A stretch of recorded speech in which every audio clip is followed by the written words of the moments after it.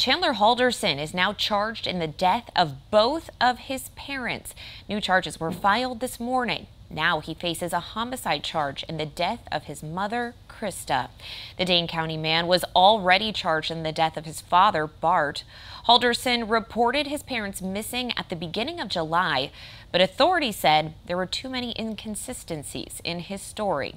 Remains were found and identified as his parents in the following weeks. Halderson is expected to be back in court September 1st.